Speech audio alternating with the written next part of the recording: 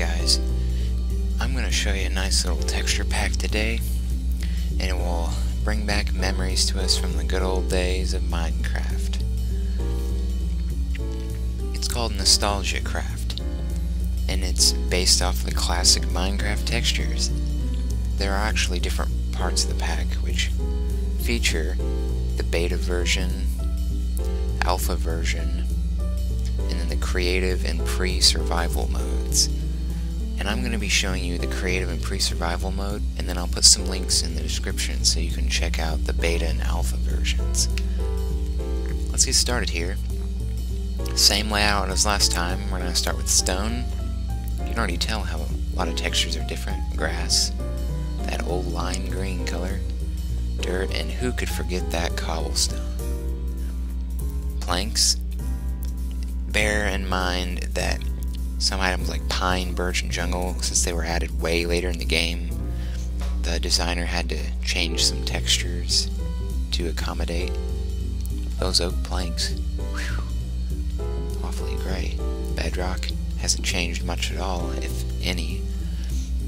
Sand, gravel, which would eventually change to the alpha version of gravel that contained pink and gray spots. Yeah, one of my friends hated that texture. The gold ore, which looks a lot different. Iron and coal, and then there's diamond, which there's slight differences. Not too much. Then you've got the gold block, iron block, diamond blocks, which have definitely changed in appearance. Then you got bricks, very vibrant, fence, here it has an, the levers, have a nice little cobblestone texture. Other than, other than that, though, nothing to them. Oh, it looks like my sapling decided to grow into a tree. Well, at least you guys can see what the trees look like. Pretty neat. But anyway, there's the sapling.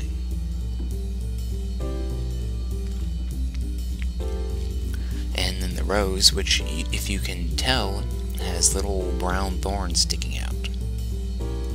And I noticed some other things, like flint, coal, and even the axes appeared differently back then. Double-sided axes, pretty awesome. Not sure why they changed it.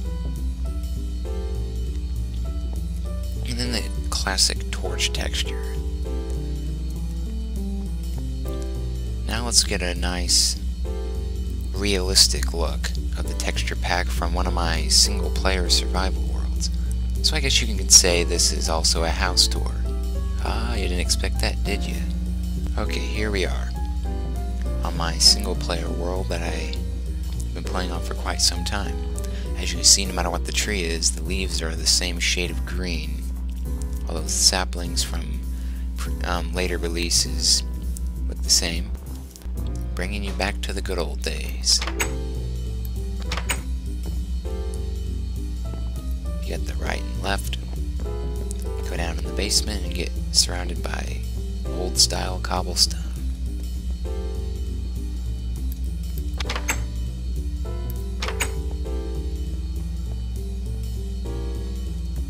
Oh yeah, down there is my little farming area. I'm not done with that yet. Yeah, you guys are getting a nice look at what this texture pack looks like in a real world, at least. And we'll get back up to the upper floors.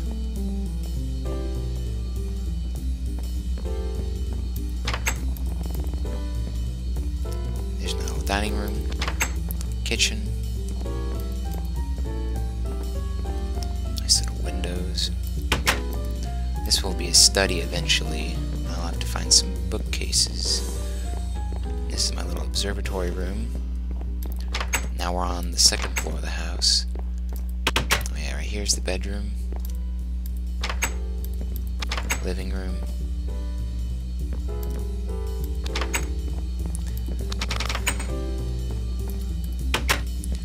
Still looking at some paintings, nice little view there, and there's a balcony. Up here's the attic, and that's it. So you got a two-in-one video here, I suppose. You got a nice little texture pack review, and you got a nice little house tour. And that'll just about do it. This has been the Hockler 5. See you guys later.